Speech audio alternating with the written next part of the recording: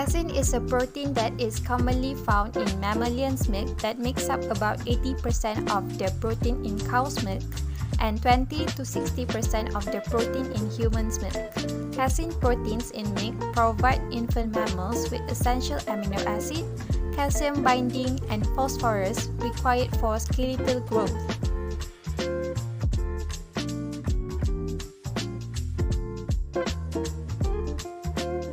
Vinegar acts as an acid that lowers the pH of the milk and for the protein casein to reach its isoelectric pH.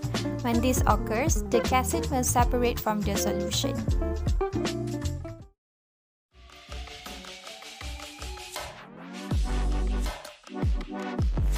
The procedure to produce casein.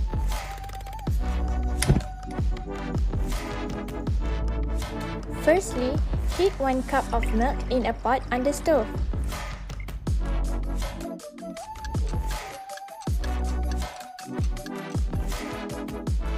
Milk contains molecules of casein protein. The protein casein is only denatured or break apart at temperatures above 80 degrees Celsius or when the pH drops. Then, add 4 teaspoons of vinegar. In this activity, chemical reaction will take place where the milk will be heated above 80 degrees Celsius and the pH will be lowered through adding white vinegar as an acid.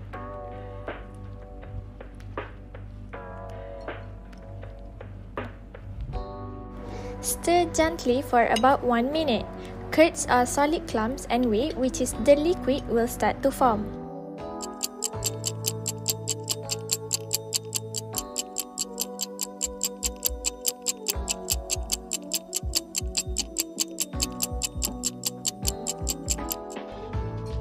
Use strainer to drain the whey away from the curds.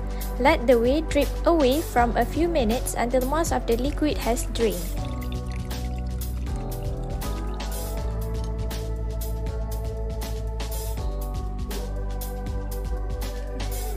Lay out a few layers of paper towels and move the curds from the strainer to the paper towels.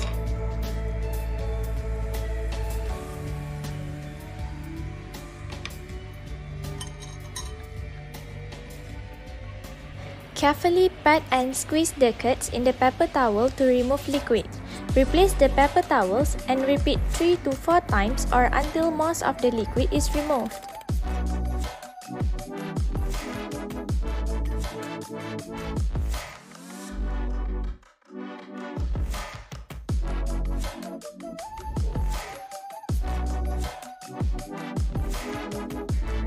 Press the curds into a mold or shape by hand. When the protein is denatured, it is unfolded into long chains called polymers.